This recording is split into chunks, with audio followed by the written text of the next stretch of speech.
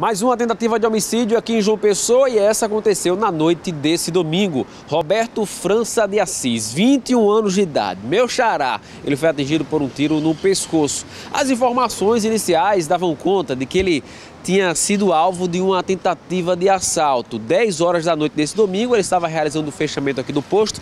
As grades que são colocadas aqui para proteger o estabelecimento já estavam de fato é, inseridas aqui. O posto estava fechando. Dois homens chegaram no local e a polícia recebeu informação de que eles chegaram numa motocicleta.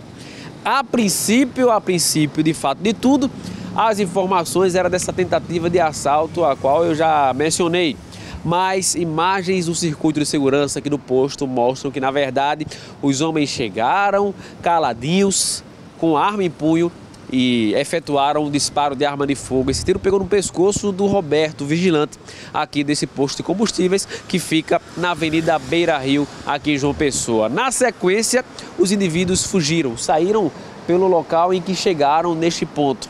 E aí a polícia foi acionada, bastante ferido, mas consciente e orientado. O Roberto, o vigilante, foi levado ao Hospital de Trauma de João Pessoa numa viatura da Polícia Militar, que ontem à noite, de fato, fez uma varredura aqui no local, na Beira Rio e também no centro de João Pessoa, aqui no bairro da Torre também, para encontrar esses homens que realizaram a tentativa de homicídio.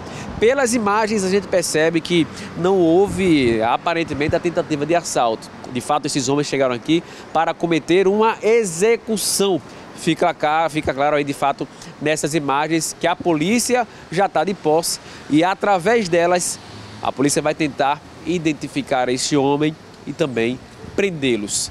Já no trauma, a vítima que foi levada pela polícia militar em uma viatura passou pelos procedimentos médicos de emergência e o estado de saúde dele é considerado grave.